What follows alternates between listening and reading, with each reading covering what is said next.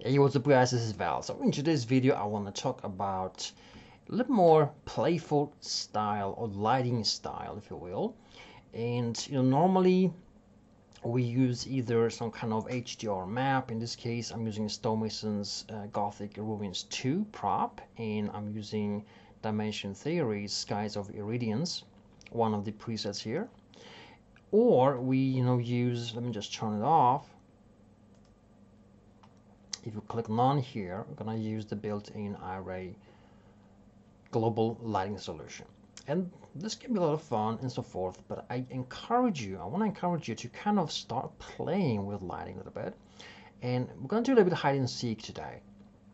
So first of all, we're to use the built-in Iray here and create kind of a nighttime setting with it. So in order for that to happen, we need to turn off the sun and uh, that will happen if you go to disk sun disk intensity right? Enter zero. That will have no sun. However we still get lighting from the sky. And also the sky is kind of brighter on one side where the sun was previously placed and a little bit darker on the other side which means the prop still gets a little bit of kind of shade and brighter look and feel on the prop, right? We want to avoid that. So I'm going to lower the sun time or time frame. Excuse me, I'm going to increase the time in order for the sun to set. This will darken the sky. And that was a bit too much, maybe. Too much ain't good, right? Let's see if I can get to almost set here. There we go. Now we can go ahead and increase the environmental intensity. Simply because it's very, very dark, right? So we're still getting a little bit of, you know, dark and bright look and feel there, but it's it's kind of okay. And what I want to do now is get rid of the line we're seeing here on this horizon line by simply increasing horizon blur. So I'm going to enter 4. Okay. Next, what I'm going to do is go to tone mapping and set a little bit colder color scale. I want this to be kind of a blue tone, sunset-ish, mm, almost night color scale, right? So I'm going to go and choose a red or orange tint on the white point which will set the lighting to a little bit colder looking. And we can exaggerate this quite a bit, just going full force here. So that give us the blue tone, almost night set, right? Nighttime. And now we can lower the light just a little bit. Maybe we can use uh, environment I'm gonna use intensity around, uh, let's say 30 okay? Or maybe 35 now the second part of this is that we can start you know playing with an additional light. And in order to do that we have to use dome and scene in the render settings. If you do not use that and add an additional light and just play with the dome like so and then you throw in a light in, in this case a point light the light will not be visible. All right but if we do dome and scene, we'll also now include the scene light we have added. So what I want to do is simply turn on top view and hidden line. That was a bad idea. Let's keep texture shaded and uh, zoom out a little bit. Going to throw in a working light I usually use distant lights for that. They are very easy to just, they do not render in the final render, but you can still use them here to, you know, angle them a little bit so you can see what's going on. Uh, so it's a very cool thing to do. So what I want to do is place this light in this one here, point light, and do a little bit of hide and seek.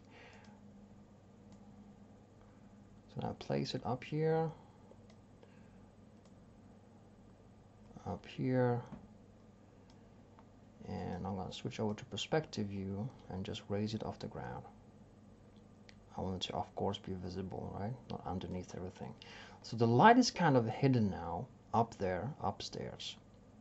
Which means we can go with our camera a little bit closer. Like so. We no longer see the light all right? But now we can start play with the light. And you know I've learned this by you know in the movie industry. I've spent two decades behind the camera in a professional manner so I've learned a lot about lighting and how, how to light scenes where to put lights and all that. And so let me just save the scene and I'm gonna just adjust the light. Perfect. So I'm gonna turn on NVIDIA IRay Preview turn off our distant light and select the point light here. Now go to parameter setting click on the light sub tab and I'm gonna choose a warmer tint on it. It's always good to go in pairs. Now contrast is always good if it has something cold or blue tone. In this case our you know sky or light then it can be a good idea to match that with a an opposite light that's warm. So what I'm going to do I'm going to just quickly adjust this environmental lighting. So it's a little bit darker. I want almost almost a night feeling here. And also I want to get rid of this orangish tint that comes from the previous sun location. So what I can do with that is just look at it. We can turn off the physical scale sun we don't need it. We can also use haze. Haze will get rid of some of that light you know um, strength if you will and just go with more almost gray all over. And now we can just include more intensity. So there's a lot you know things you can do inside here. Um,